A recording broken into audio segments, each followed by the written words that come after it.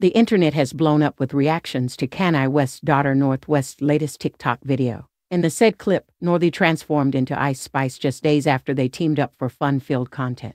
North has taken her fandom for Ice Spice to new heights by posting TikTok videos of her resembling the buzzing raptress. However, after North's clips going viral, the internet appears to have sided with her dad, who previously spoke adamantly against North appearing on the video-based social media app.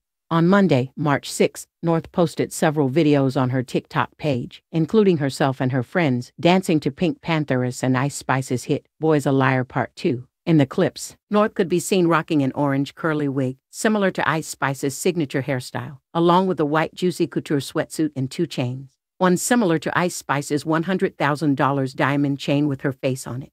Hours later, E began trending on Twitter with one person simply saying, Kanye was right. The social media user also included a video of E condemning his adolescent daughter's use of the app.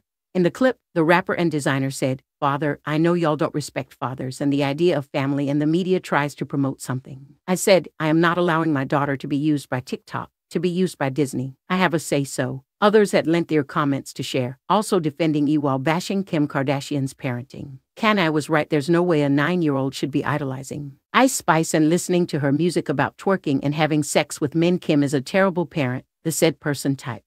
A separate Twitter user said, North has gone too far. One of the main reasons that folks were sounding off on North video was due to the nature of the lyrics the nine-year-old now social media star was reciting. The lyrics were, he say that I'm good enough, grabbing my da-da-da. Think about shit that I shouldn't have. So I tell him it's one of me, he making fun of me. His girl is a bum to me. Like that boy is a cap saying he home but I know where he at, like Betty blowing her back.